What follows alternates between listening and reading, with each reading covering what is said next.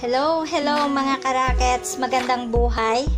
Ayan, yung mga ah, nag-aabang dito sa aking ah, obra para kay Sir Rapi Tulpo.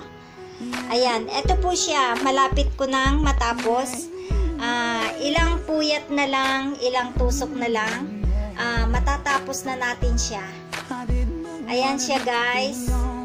At sana ah, panoorin ninyo ang video ito at i-share po natin ng umabot kay Sir Rapi Tulfo.